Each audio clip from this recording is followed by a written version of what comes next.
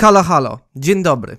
Witam was w kolejnym odcinku Versus. W dzisiejszym odcinku przyglądniemy się konfliktowi między dwójką panów. Reprezentanta drugiej obsady oraz reprezentanta trzeciej obsady. Oto B kontra Birdo. Zapraszam do oglądania.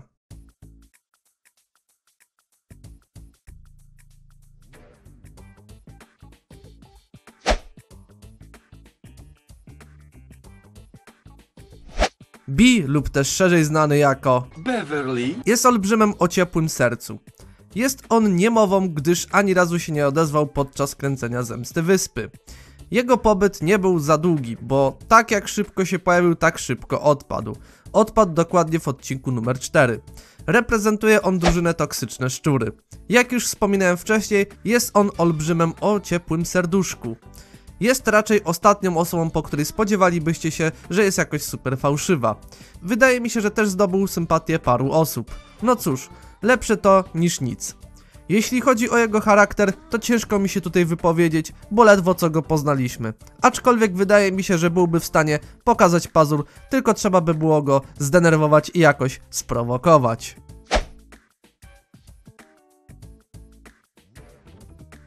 Birdo też jest olbrzymem, ale raczej wątpię, że o ciepłym serduszku. Ogólnie jeśli chodzi o jego postać, to jest on taką nijaką postacią. Mam wrażenie, że twórcy chcieli zrobić z niego drugiego B, ale oczywiście dla trzeciej obsady. Reprezentuje on wyspę Pakitew. Jak szybko się pojawił, tak szybko odpadł, bo dosłownie w pierwszym odcinku. Przez cały odcinek się nie odzywał, no może poza wydawaniem z siebie irytujących odgłosów. Jedyne kiedy się odezwał to pod koniec, kiedy miał wylecieć. Z charakteru wydaje mi się, że byłby totalną ślamazarą oraz mięczakiem, bo poza wydawaniem z siebie odgłosów to raczej nic innego by nie potrafił.